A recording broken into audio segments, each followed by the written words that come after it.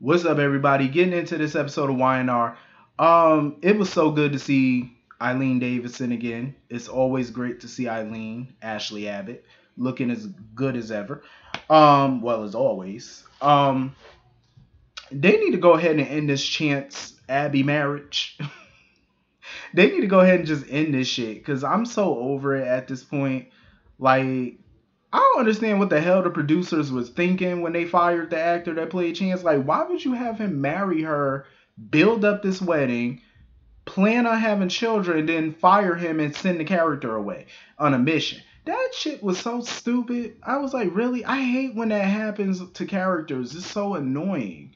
Like, you could have just had them break up before they got to the marriage part. And Abby could have just moved on. Like saddling her in a in a lonesome marriage, being a single parent. I'm like, what were y'all thinking? I'm just saying. Um, but it was good to see Ashley bonding with her grandchild. Um, Christine came over basically with some news, not good news, but some news. Um, that apparently while Chance was on the last leg of his mission or whatever, he was allegedly in a building that got bombed or whatever that somebody um sent an explosion, it whatever. It got bombed.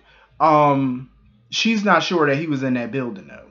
It was told to her that he was in that building or he could have been in that building, but she don't know if that's accurate information. Abby is holding on to hope that it wasn't him because she felt like she would feel it if it was him. So I don't know. Maybe that's just denial talking. I don't know. I don't really see them killing Chance off. Presumably deceased, yes. Killing him, killing him, like he ain't never coming back killing him. I don't think they would do that. Especially if there was no body found. But they know that who, you know, whoever was in that building, there was definitely no survivors. Um I feel bad for Abby though, because they just need to get her out this little boring ass storyline is what they need to do. Like let her move on with life.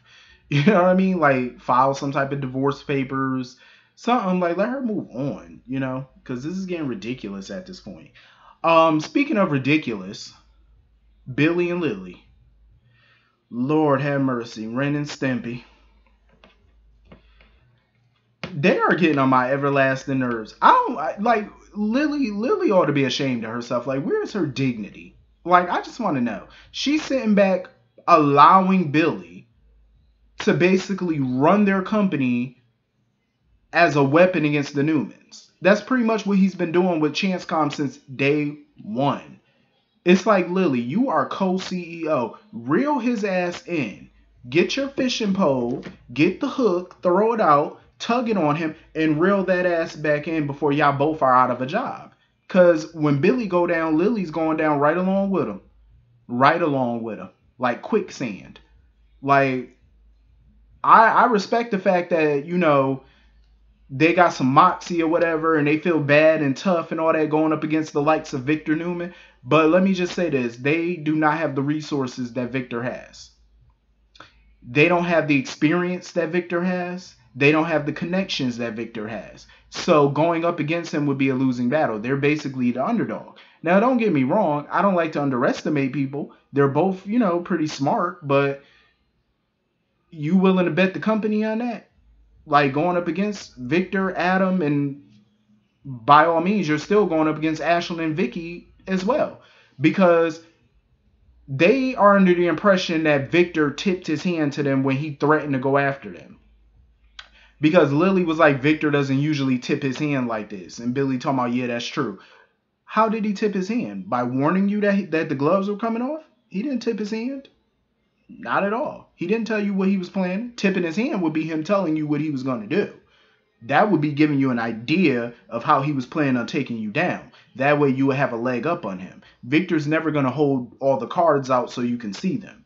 Him warning you, he's warned people before and he still took their asses down. Because he's not telling you what he's going to do. He's just warning you something is about to come for you. That he's coming for your ass. That's not tipping his hand. To them, that might be it, but that's not really tipping his hand because you don't know what he's going to do. You don't know what he's going to do. You don't know when he's going to do it. So you're just sitting there wondering the when, the how, the where. That's what you're doing. You know what I mean? And Lily pretty much could tell that Billy was rattled. And if he acts like he's not, he's lying. Because when Victor comes after you, you better be scared. Because trust me, Victor is cutthroat. He's ruthless. Look what he did to Jack and Phyllis. He got a, a crime figure to pretend to be Jack Abbott. If he can go to that length, to those lengths, to get revenge on Jack, what makes you think, what, what do you think he's going to do to you? Like, think about it. The man has a far reach. Billy and Lily do not. They don't have those connections, those resources. They don't have them. So going up against Victor is a hell of a gamble. And Billy is so stupid. He's sitting there talking about he doesn't regret deleting that video that Gaines sent him or whatever. I'm like, okay, but trying to find out what happened to Gaines is gonna open up a new can of worms though. Because if you find Gaines, which I doubt they will, because Victor's not a sloppy person. He typically doesn't leave evidence behind. Um, Victor's that type of person. You only know what he wants you to know. So if you do find something, that's because more more than likely he wanted you to find it, or he just didn't care.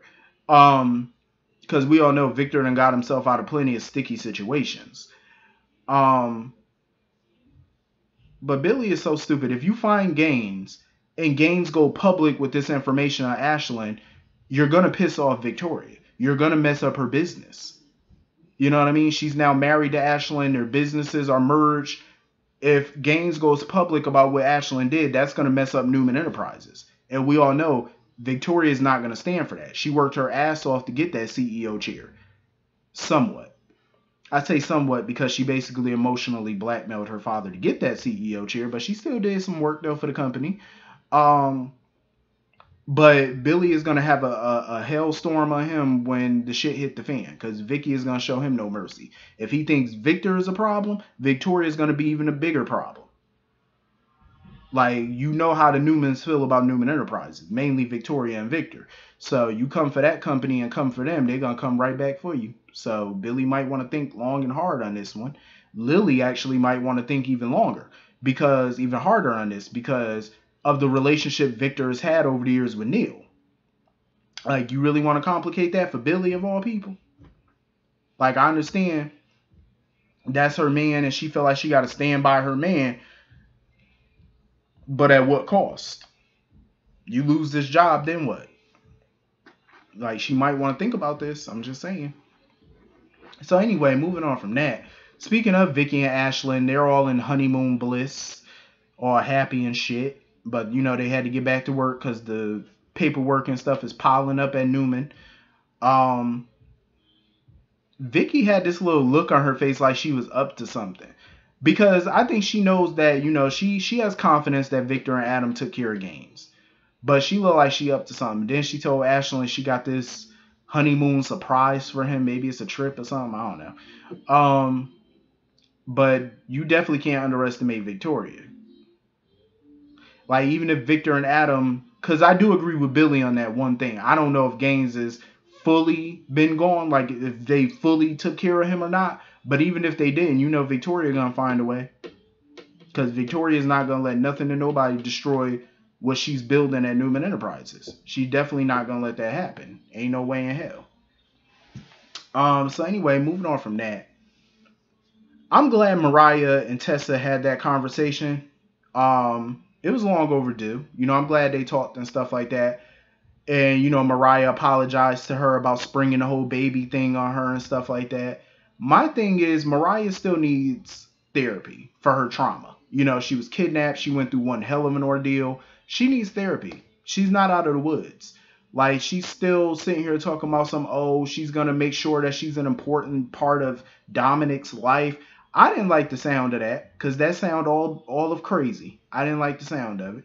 And now she want to drop off a teddy bear to the mansion and stuff like that for him. I'm like, you've already been to the mansion already. There's no need for you to go back today. Um, I'm just saying, like, she needs to limit her time with that child. She really does. Just because you are the godmother does not mean you need to pop up all day, every day. Like, take a step back, pause. You know what I'm saying? Go live your life and handle your business. You don't need to be up around that child 24 7. He got a mother, and you're not it. Like, she really needs to get herself together mentally. She keeps telling everybody that she's fine, she's good, she's okay. No, you're not. And I feel like she's not fully going to be fine until she talks to a professional. That's when she'll be fine. So anyway, moving on from that, um, Noah decided to, I guess, for the time being, move back to Genoa City, and it was good that he surprised Sharon. She was happy to see, you know, her firstborn, of course. But her and Nick were so nosy, so nosy, because they suspect that he's not back for nothing. Like they know there's a reason Noah left London. And they kept asking, why did he need a break from London and stuff? And he kept being evasive with the questions, you know, deflecting and stuff, not trying to answer them. He was just basically like, I need to change the scenery. And that answer was not good enough for them. They was like, nah, we're not buying it. I'm like, okay, I agree with them. I do feel like he has some type of agenda, but at the end of the day, he is grown and they don't need to know all his business. It's like, mind your business. When he's ready to tell you the real reason he's back, let him tell you. You ain't got to pump him for info. But it was good to see Sharon and Nick together with their son, though, having a little family bonding moment. That was good. Um, when he walked up on Tessa and Mariah, though, and he noted how happy they were, how strong they were, and stuff as a couple, how solid they were. Mariah was looking at him like, what the fuck is he up to? Because she she was like, yeah, I got a story to tell. She wanted to know what the story was between him and Tessa.